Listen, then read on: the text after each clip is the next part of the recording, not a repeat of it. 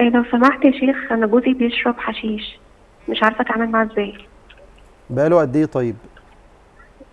من زمان من قبل ما يتجوزني. أنت يعني حوالي متجوزة 20 بالك. متجوزة بالك قد إيه؟ خمس سنين. وكنت عارفة؟ عرفت بعد الجواز.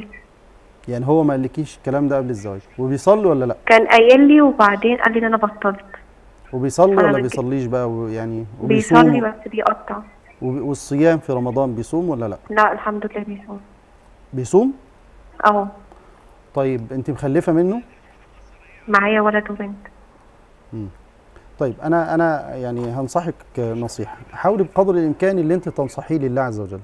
واللي أنت بتعمله ده ممكن يؤثر عليا أنا شخصيا وخلي بالك أنت قدوة لأولادك. فممكن القدوة ممكن يكون قدوة صالحة وممكن يكون قدوه سيئة.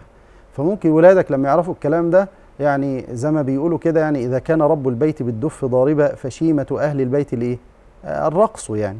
فاتق الله اللي أنت بتعمله ده غلط أنت في النهاية تبقى قدوة سيئة لأولادنا آه، وربنا مش هيبارك في حياتنا و و إلى آخره.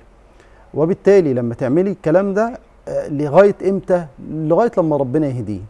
طب هل أنا ممكن الطلاق أنا لا أنصح بمسألة الطلاق لكن أنصح بالتريث وبالنصيحة لأن النبي صلى الله عليه وسلم كما في حديث تميم الداري قال الدين النصيحة الدين النصيحة الدين النصيحة. قلنا لمن يا رسول الله؟